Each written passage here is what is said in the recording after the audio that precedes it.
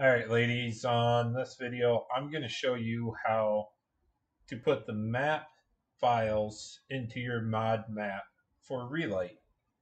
Suchsneak has came up with this and there's been a couple different versions out already. It is great. I will post the link to his itch.io in the description below and as you can see just scrolling through the examples, I enjoy it. It doesn't hinder the FPS or nothing. We're actually changing the base game files and the lighting files to do so.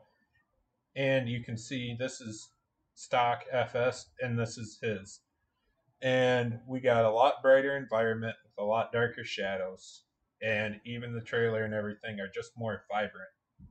I have struggled trying to figure it out for myself with my own reshade or the own shaders and everything. But if you scroll down, you'll see a bunch of different things. And this is a version 1.1 map files, standalone, map files, standalone, ProShot Fix, and standalone. It is simple. If you just want to do the standalone, put it right into your mod folder, work for any map that you do, any map that you play on, that's fine. I agree with that. The only issue is when you go that route, it comes with environment. XML. In this environment XML is your latitude. So depending on what map you play with, what area it's from, that will change. So I think this one was for Westby, if I remember correctly. The Elm Creek is like 40.9 or something like that. And with that changes your growth states and all that when things are ready. So if you wanted to play in Brazil, you could change it to Brazil. If you wanted to play in Europe, you could change it to Europe type thing. That's the only thing I look at in this.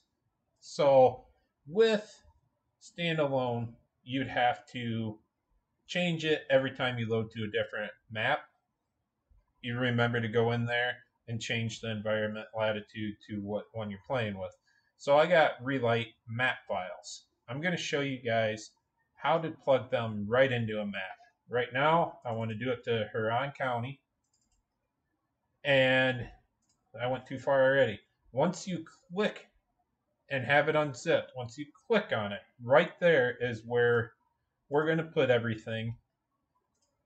But the uh, I keep the README out. So I copy everything over. So I have this for it's still in my downloads for any map. I'm going to paste all these right in here and then I'm going to click on my environment XML. I'm going to cut that out. We are going to run into here and it depending on where it is, file, however they did it, you might be able to find the environmental XML. And you got to move that around or at least change the file path around to be correct. But you can see in Huron, we do not have one. So therefore, I plug it in. I'm going to go to my map.xml. And right here, this one was already reading off of the Elm Creek one, which is fine, but I want it to read off of exactly where Huron is in Michigan. So we come back here, we're into the main folder, then we click Maps, Map US, and there's our environmental XML, or the environment XML, excuse me. So we have that changed correctly. Now I'm going to go back to my environment XML. We're going to open it up and this is what I change for and I figured out Bad Axe is like right in the center of Huron County, Michigan. So this is what we're going to put in there. I'm going to put 43.8 just to keep it simple. And you guys can do it however you want. But this way, every map I decide to play on will have its own environment. And we'll pop into the game here quick and cross your fingers that I didn't break anything. Alright guys, now that we're in game, I can tell right away Relight has worked. Depending on what time of day it is and everything will depend on your brightness. That is the great part. But the other awesome part is the shadows. Look how realistic the shadows are.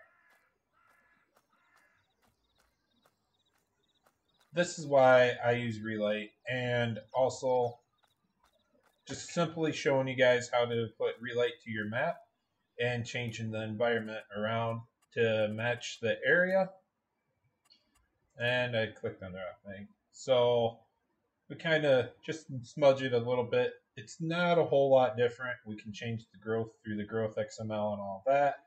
But the biggest part is it will keep the snow and all that coming in correctly. So we should be hitting snow in December, January area for Huron, Michigan. And as of right now, if you guys have any more questions, go ahead and comment below.